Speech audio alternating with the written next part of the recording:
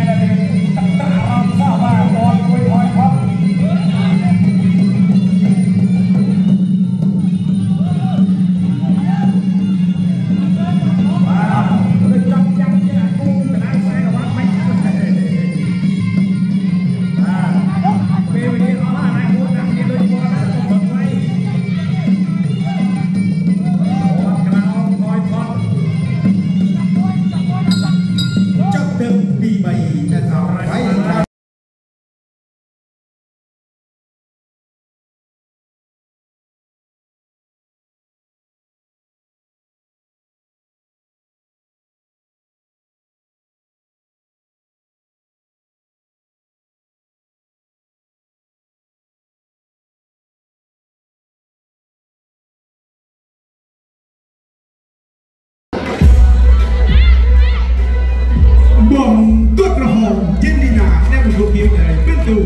Winner!